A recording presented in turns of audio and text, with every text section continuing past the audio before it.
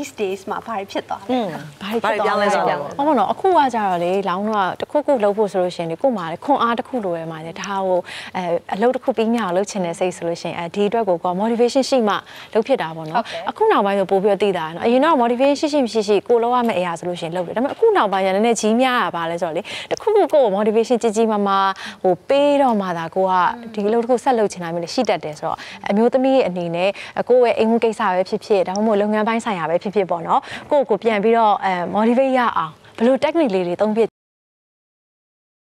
ဆိုတော့အဲဟိုတော်တော်များများကတော့ဘယ်လိုဖြစ်လဲဆိုတော့ကိုစိတ်ပျော်တဲ့အရာလေးရေးပြလောက်ကြတာပေါ့နော်အဲလောင်းဆိုလို့ရှိရင်လည်းပဲကိုယ့်ရဲ့အဲ motivation ကြားနေရဲဆိုတဲ့အချိန်မျိုးမှာဘာမှကျန်တဲ့အလုပ်တွေကဘာမှအဲ့ချိန်မတွေးတော့ဘူးအဲ့ချိန်အပင်ပဲ အပင်ကအဓိကဒီအပင်လေးတွေကိုပြုစုရဲစောင့်ရှောက်တယ်ကြီးလာတယ်အပွင့်ပွင့်တယ်ဒီ cycle လေးကိုကြီးတဲ့ခါကျဘာရှိလဲဆိုတော့ဟိုလူတယောက်ဘဝကလည်းအပင်လိုပဲလေနော်အားလုံးဟန်ချက်ညီတော့မှသာ तू ကအသေးပွင့်ရတာဆိုတော့အဲအဲ့ဒီကနေပြီးတော့ကိုကတဘာဝရဲ့ motivation လေးယူတာရှိတယ်ပေါ့နော်တခြားနည်းလေးလည်းရှိရပေါ့အဲ့တော့အမားတို့လည်းကိုယ်တိုင်ဘာနည်းလေးတွေနဲ့ကိုယ့်ကိုပြန်ပြီးတော့ motivate လုပ်ကြတယ်ပေါ့အားလေး share ကြမယ်ဒီနေ့သိရင်ပြော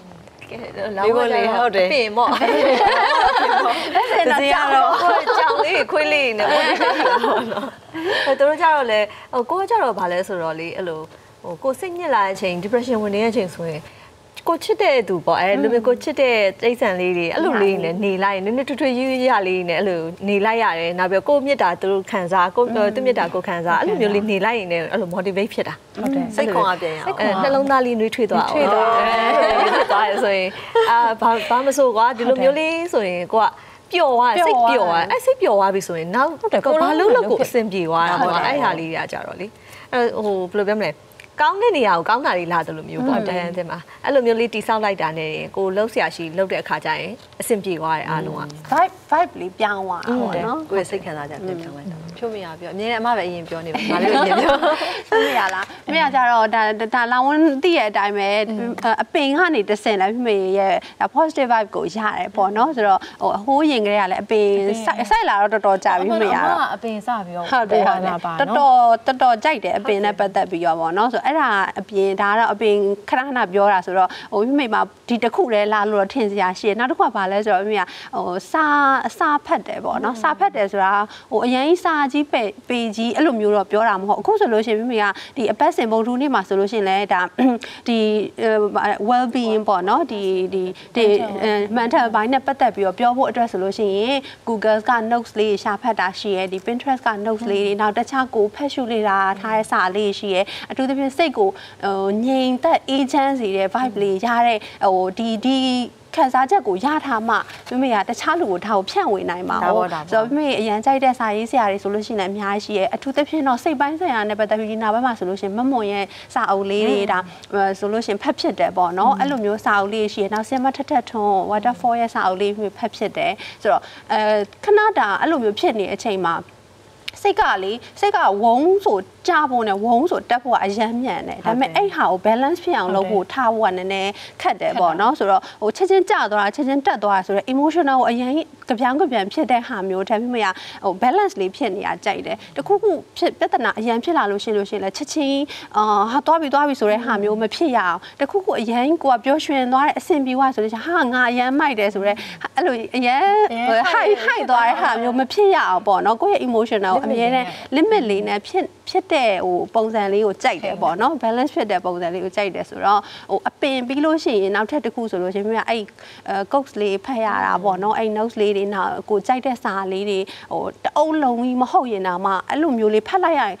တခါတလေကြားလို့ရှိရင်အဲ့တကြောင်နှစ်ကြောင်နဲ့နဲ့လေအဲ့တနေ့တာအတွက်ပြည့်စုံသွားတဲ့နေ့လေးရှိရင်ဒီစာလေးတစ်ကြောင်လောက်ဖတ်လိုက်တာနဲ့လေအော်ဟုတ်သားပဲဆိုအဲ့လိုဖြစ်သွားရောက်သွားတယ်ဆိုတဲ့ဟာမျိုးပေါ့နော်အဲ့လိုမျိုးလေးကလည်းပြန်ပြီးတော့ရှူပါတယ်ဟုတ်อืมဟုတ်တယ်အဲ့တော့တယောက်ချင်းစီရဲ့ ဟိုကိုယ့်ရဲ့ကြိုက်နှစ်သက်တဲ့ကိုယ့်ရဲ့အားသာချက်လေးပေါ့နော်အမအနေနဲ့ဆိုရင်ဘယ်လိုခံစားလဲဆိုတော့အမလည်းအဲ့လိုစိတ်သက်ကြလွယ်တဲ့မှာပါတယ်စိတ်ညစ်လွယ်တယ်အဲတခုခုစကားဖြစ်တော်၎င်းဒဲမဟုတ်တောင်မှပဲဟိုကိုယ့်ကိုဓာတ်ရိုက်ပြောတာမဟုတ်တောင်မှပဲတစုံတစလိုမျိုးတက်ရောက်မှုကိုတောင်မှအမအရန်ခံစားလွယ်တဲ့မှာပါတယ် emotional အရန်ဖြစ်တယ်အဲ့ဒါဘာဖြစ်လဲဆိုတော့ အရင်ဆုံးကိုပဲခံစားရတာကိုပဲနာကျင်ရတယ်ဟိုတခြားသောအောင်မြင်မှုကြာရှုံးမှုတွေခဏထားအောင်ဒီလိုစကားအစအမလိုခံစားလွယ်တဲ့အခါကျနောက်ပိုင်းကိုကိုပြန်ပြီးတော့သုံးသက်တယ်အမြင်အဲ့လိုဖြစ်နေကိုပင်မနဲ့လေတည်တာအဲ့တော့အမအဲ့လိုမျိုးဒီလိုမျိုး ထိုးနှက်မှုပဲဖြစ်ဖြစ်ကြုံတွေ့ရတဲ့အခက်အခဲတွေကြုံလာတဲ့အခါတိုင်းမှာအမရဲ့အာပျော်ရွှင်မှုတွေမှာအမအစားအသောက်ပြင်နောက်တစ်ခုကပါလဲဆိုတော့ဖြစ်မပြောတယ်လို့အမခီးသွားတာတိတ်သဘောကြတယ်အဲ့တော့အဲ့လိုခါတိုင်းမှာအမပင်မနေပြီးအမအရန်နွမ်းနေနေပြီးတအားခြေကုံလက်ပန်းကျနေပြီဆိုတဲ့အခါမျိုးမှာဘာတွေးလိုက်လဲဆိုတော့အော်ထားပါတော့အခုအာအခုထားပါတော့နော်အခုဒါဆိုလို့ရှိရင်10လပိုင်းအော်ငါ12လပိုင်းလောက်ကြာရင်ငါအဲ့ချိန်ကျရင်အလုပ်လေးခဏလွတ်ချပြီးငါခီးသွားမယ်ပေါ့အဲ့ဒီကာလတစ်ခုအမစဉ်းစားလိုက်တယ်အဲ့လိုတွေးလိုက်တယ်အော်ငါခီးသွားရမယ် ငါအလုပ်တွေစူးစမ်းမယ်ခုကာလမှာဘလောက်ပင်မနေပြီစေပေါ့နော် target တစ်ခုရှိတာဂက်တစ်ခုဟုတ်တယ်အရင်တော့ရှိတယ်လို့မျိုးလေဥမာဘာလို့လို့ရှရင်ဘာစုရမယ်ဆိုလို့မျိုးကိုယ့်ကိုစုပေးလိုက်တာငါအချိန်ကျတော့ငါခီးသွားမယ်အဲ့တော့အဲ့ခီးသွားဖို့တော့ကိုပလန်ထားလိုက်တယ်စိတ်ထဲမှာတွေးလိုက်တယ်သွားပြစ်တီမသွားပြစ်တီခဏထားအောင်အဲ့ဒီခါမှာအဲ့ခီးသွားဖို့ကြိုတွေးလိုက်တဲ့ခါမှာပင်မမှုကရောကြသွားပျော်သွားတယ်ဟိုရက်တက်နေတဲ့အကုန်နေတဲ့ motivation ကိုစီပြန်ရောက်လာတယ်ပေါ့နော်အဲ့ဒီအတွေးနဲ့အခုကာလာတွေဆိုလို့ရှရင်နည်းနည်းအသက်အရွယ်တစ်ခုရောက်တဲ့ခါမှာကိုယ့်ကိုပိုနားလည်လာတယ်ငါဘာကိုကြိုက်နေတတ်လဲဘာဆိုလို့ရှရင်ငါကြည်နဲ့လဲအဲ့ဒါမျိုးတွေးပြီးတော့တကယ်မဟုတ်သေးတာနည်းနည်းလေးကြိုစဉ်းစားပြီးတော့စိတ်ကူးရင်လိုက်တယ်ပြီးခီးသွားရတဲ့ပုံလေးပြန်ကြည့်အော်ငါအဲ့တော့ပျော်ခဲ့ရတာပဲအအမြင်နဲ့လည်းပျော်မှာမဟုတ်ဘူးလူကအမြင်နဲ့လည်းပင်ပန်းနေမှာမဟုတ်တော့အော်အဲ့ခီးသွားရင်ငါပျော်ရမှာပဲဆိုတဲ့အတွေးနဲ့အခုပင်ပန်းမှုတွေကိုခဏလေးသိခံလိုက်တယ်အဲ့လိုမျိုးအမှားတော့ကြော်ဖြတ်တယ်ဟုတ်တယ်နော်ဟုတ်တယ်နော်အဲ့လိုမျိုး motivation ကိုယ်လေးလည်းအဲ့လိုပလန်ထားတော့သိခဲ့တာလားအဲ့သူပြောနေသူ plan ထားတယ်အဲ့လို update ဖြစ်တဲ့ဟာလေးတခုလိုရပေါ့နော်။ဒါမှမဟုတ်လို့ရှိရင်နောက်ပိုင်းအဲ့အရင်တော့ကမလုပ်ဘဲနဲ့နောက်ပိုင်းမှာပေါ့နော်ကိုယ်စိတ်ပျော်အောင်လို့အဲပျော်ရွှင်မှုကိုဘယ်လိုပြောမလဲအဲနည်းနည်း hack လုပ်တဲ့နည်းလေးရှိရပေါ့နော်။အဲ့ဒီမှာတခုကလောင်ကကြက်တောင်ရိုက်တယ်နောက်ပိုင်းလေလေကြက်တောင်ရိုက်တယ်အဲ့လိုကြက်တောင်ရိုက်လို့ရှိရင်တော့ဘာဖြစ်ဆိုတော့ဟိုအားကစားတစ်ခုဘာဖြစ်လို့ရွေးလဲဆိုတော့လောင်တော့ပုံမှန်ဆိုရင်ကိုလိုချင်တဲ့အနေအထားတစ်ခုကို achieve ဖြစ်တော့မှပျော်တာပေါ့။ဥပမာကိုလိုချင်တဲ့ငွေပဲဖြစ်ဖြစ်အလုပ်ပဲဖြစ်ဖြစ်တစ်ခုခုကိုရတော့မှကိုယ်ခန္ဓာကိုယ်ကပျော်တဲ့ခါမှာကောင်းတဲ့ပျော်တဲ့ဟုန်တွေ release တော့ထွက်တာပေါ့နော်။ဒါပေမဲ့အဲ့လိုမျိုးပျော်တဲ့အခြေအနေမျိုးတစ်ခုမရဘူးဆိုရင်တော့မှအလားတန်တူတာကြအဲ့အားကစားကနေရအလူတယောက်ကချွေးထွက်ပြီးအားကစားတစ်ခုလှုပ်လိုက်ပြီဆိုရင်ခန္ဓာကိုယ်မှာတူညီတဲ့တုံ့ပြန်မှုတစ်ခုရသူတစ်ခုခုကိုစွမ်းဆောင်နိုင်တယ်သူလုံနိုင်တယ်ဒါအမတို့လေ့ကျင့်ခန်းတွေအဲ workout တွေလုပ်တဲ့သူဆိုပိုပြီးသိမှာပေါ့နော်ဆိုတော့အဲ့ဒီအချိန်မှာတရက်ရအောင်တော်တော်လှသွားအဲ့တယ်တော့အဲ့ဒီအချိန်မှာခန္ဓာကိုယ်ကဘာဖြစ်လဲဆိုတော့ तू ကတကယ်အာ အောင်မြင်မှုတစ်ခုရလိုက်တယ်လို့ခန္ဓာကိုယ်ကိုယ်တွင်း achievement တစ်ခုရအဲ့ဒါကလည်းခုနကလိုပျော်ရွှင်မှုနဲ့အလားတန်တူတယ်ဒါကြောင့်မို့ဇလန်းနေထဲမှာတို့အရန် stress ဖြစ်လာရဲဆိုလို့ရှိရင်အားကစားတစ်ခုကိုပြင်းပြင်းထန်ထန်လုပ်တာတို့ရိုက်ပြအဲ့ဒီနေရာမှာဒီပျော်ရွှင်မှုအစားထိုးပြီးထွက်လာရဲတော့အဲ့လိုအရန် balance မအောင်တော့ဘူးပေါ့ဟိုမှာဆိုလို့ရှိရင်သူတခြားနေရာမှာဘာမှသူလိုချင်တာမရလို့မို့စိတ်ညစ်တာတက်စားလို့ရှိရင်သူဒီဘက်မှာခန္ဓာကိုယ်ကထိုက်တဲ့ balance တစ်ခုသူရနေတဲ့အတွက်အားကစားတစ်ခုခုကတော့ပြင်းထန်မှာမဟုတ်ပေါ့ပေါ့ပါပါတစ်ခုလည်းရွေးပေါ့နော်ဒါမှမဟုတ်ကိုကလွယ်လဲလွယ်တဲ့အရာမျိုးအရန်လည်းမပြေးရတာမျိုးဆိုရင်အဲစက်တောင်ရိုက်တဲ့ခါကျပျော်ရပေါ့ကိုညီမနဲ့နောက်ကိုခင်တဲ့ညီမတွေနဲ့ညနေလောက်ဆိုရင်မိုးမရွာအောင်ဆိုလို့ရှိရင်စက်တောင်ရိုက်တာမျိုးရှိတယ်။အဲကြတော့လူလဲလှုပ်ရှားမှုဖြစ်တယ်လို့အဲ့ဒီအချိန်မှာလေဒီပြန်လာတဲ့စက်တောင်ကိုကိုကတွေးရဖြစ်တယ်တခြားကမရှိဘူး။ကိုတဲ့တဲ့ရိုက်လိုက်နိုင်ပြီဆိုလို့ရှိရင်ဒါအချိမှတ်တစ်ခုပဲဆိုတော့အဲ့ဒီကနေခန္ဓာကိုယ်ကသူပျော်တဲ့အရာတွေကိုခဏခဏခဏခဏရရလို့တောင်းခံစားရတယ်ပေါ့နော်။အကယ်၍ကိုယ့်ရဲ့နေ့စဉ်ဘဝမှာဒီလိုမျိုး motivation မရှိဘူးဆိုရင်တော့မှလွယ်တဲ့ပျော်စရာကောင်းတဲ့အားကစားတစ်ခုစမ်းကြည့်ပါလား။ဟုတ်လို့အရင်တော့အားကစားရပါအဲ့လိုလိုရှာရှာဝါသနာမပါဘူးပေါ့နော်။ဒါပေမဲ့လေ့ကျင့်ခန်းမဟုတ်ဟုတ်ပေမဲ့အဲ့လိုကြက်တောင်ရိုက်တာလေးတစ်ခုနောက်ကိုကြိုက်တဲ့အားကစားလေးတစ်ခုကနေလေကိုအောင်မြင်မှုတစ်ခုရတယ်လို့အဲဒီဟာလေးကို release လုပ်လို့ရတယ်ကိုယ့်ဘက်ကလက်ခံရရှိတာဖြစ်တဲ့အတွက်ကို receive လည်းလုပ်လို့ရတယ် relief လည်းလုပ်လို့ရတယ်ဆိုတော့အားကစားတစ်ခုတော့ရွေးပါလို့အဲ့ဒီကနေတကယ်ပြောတာလေးတစ်ခုရမှာဆိုတော့ motivation ကကိုကြိုက်တာ motivate လုပ်လို့ရတယ်ဒါပေမဲ့အခုပြောတဲ့အားကစားလေးတစ်ခုရွေးကြည့်ရင်လေအဲခံစားချက်မတူတာလေးတစ်ခုတော့ရမှာသိကြတယ်ဆိုတော့အဆန့်ကြည့်ပါနော်ဟုတ်ကဲ့ပါ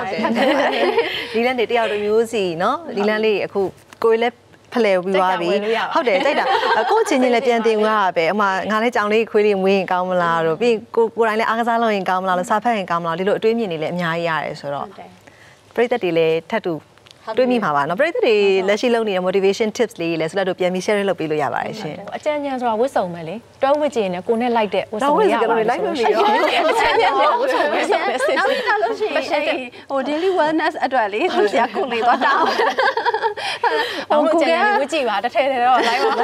ကိုကဟိုဘာသာပြန်ရအရင်ပင်မတယ်ပေါ့နော် translate လုပ်ပြီးသားကွာတုံးတော့မယ်စကလုံးလေးအသစ်ဆန်းလေးဝတ်စုံစုံမဟုတ်တယ်ပြည့်ရွာလေဒီတိုင်းနေတာထက်စားလို့ရှိရင်လေခုနပြောသလိုလေ gym သွားမယ်ဆိုရင်တောင်မှလေ gym သွားတာမဟုတ်သေးဘူးအိမ်မှာလည်းအိမ်မှာပဲ workout လုပ်မယ်ဆိုရင်တောင်မှလေဒီတိုင်းပဲရှိရဲ့အင်ဂျင်နဲ့ workout ထားလောက်တာနဲ့ကြကြနာနာ gym စုလေးလဲလိုက်တာနဲ့ feeling လုံးဝမတူဘူးအဲဒီဆက်ပြီးအဲ့လိုပိုကောင်းတယ် အဲ့ဒါလည်းတစ်ခုပေါ့အဲ့ဒါတစ်ခုပေါ့ဆိုတော့ gym gym စုလေးကိုဝေ့လိုက်တာနဲ့ဟာငါငါ gym စုဝေ့ထားတဲ့တန်အောင်တော့ငါ15မိနစ်လောက်တော့တေချာတော့လုံးဝ15မိနစ်ပေါ့နော်ဆိုအဲ့လိုမျိုးပေါ့ဆိုတော့ဟိုတေချာတာကတော့အပြောင်းကိုလုံးနေကြမဟုတ်တဲ့အပြောင်းလဲတစ်ခုကိုထားလောက်လိုက်ရမှာအဲ့ဆိုလူကကိုအဲ့ဒါကိုကြိုက်တာဖြစ်သွားပြီဆိုရင်မိုတီရသွားပေါ့နော်အဲ့လိုမျိုးလေးအဲ့တော့ motivation တော်တော်ရပါတော့ရရပါချမ်းနေ motivate ဖြစ်သွားပါဟုတ်ပါတယ်ရှင်